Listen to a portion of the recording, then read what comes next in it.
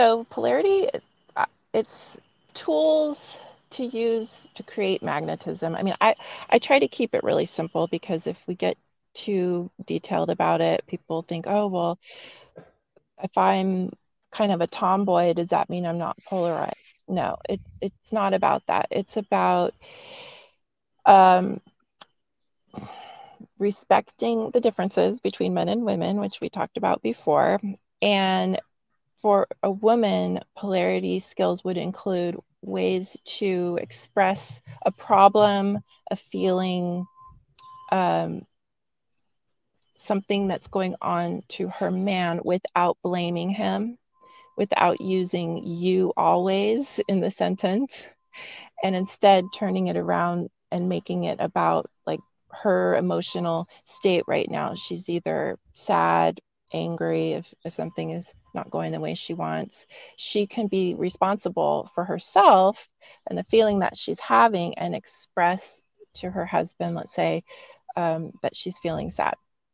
And, or and permissively too, which a lot of feminists don't like this, but part of pol- polarized communication includes asking first. Like, um, I'm not if my if I see my husband, I'm not going to run right up to him and say, I'm so angry, I'm so sad. That would not be polarized communication because that would be penetrating him with my emotions. Instead, mm-hmm. I would mm-hmm. ask him, Is this a good time to share something with you? If mm-hmm. not, when would be a good time?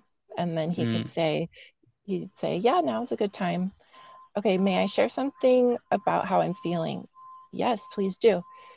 I feel so sad. And then state the problem without making him wrong or bad or ashamed of something he did but really taking responsibility so i'm i'm just giving you one example of how i utilize polarity in my mentorship because i'm helping the women with skills to change their language find feminine ways to communicate their issues their problems their feelings mm-hmm. with men because otherwise a man will tend to get defensive, feel hurt that she's blaming him for something, she's not taking responsibility for her feelings that and now he's got to defend himself and tell her why yeah. and it just usually what happens it just turns into this big argument so this is it escalates to, uh-huh. yeah it escalates and a lot of times the one person will just completely shut down and yeah. then there's no um, opportunity for connection in that kind of situation so does that um one one problem i could see there is that the woman you're telling a woman this is how you should communicate and then oh they're now oh well now i expect my husband to communicate with me the same way. Oh.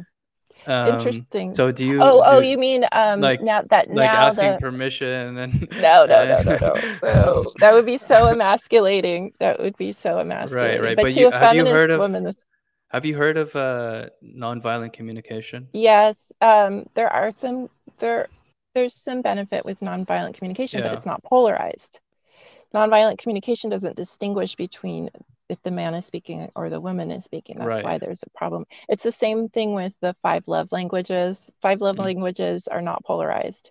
Right. Every woman should have all five of those love languages. Maybe maybe there are a couple that she has a little bit more than the other, but men the men's love languages are respect and physical intimate um, relations right. with his wife. And and right. that's just the way it is. Men do not need to receive compliments um, men do not need to receive gifts. That's the, right.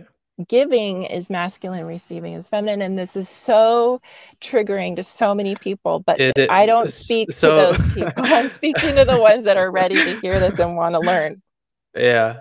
And is this part of something that you think is an objective truth or do you think oh, hey oh, yeah. whatever works for you works for you oh no or do you think ultimately it won't work for them if that's if that's what they're insisting on no okay that's such a good question andrew thank you for bringing this up because you'll hear couples say well the you know i'm in a relationship where my wife makes all the decisions she tells me what to wear oh, she oh, she makes sure that my dentist appointment is scheduled and I get there on time and she's always checking and making sure. And so that's that's an inverse in the that polar the polarity in that relationship is reversed.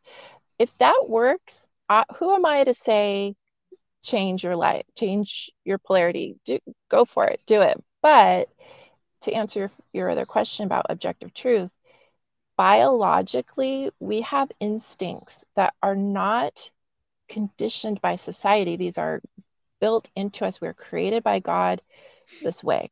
So, uh-huh. in that sense, they are objective. Um, the polarity that I teach is objective because of biological imperative um, functions and the way that we were created. So that's why I'm saying like the what I what I talk about is not for everyone because if someone mm-hmm. thinks that there are a million thousand bazillion different genders, they're not gonna they're not gonna like what I'm right, talking right. about very much.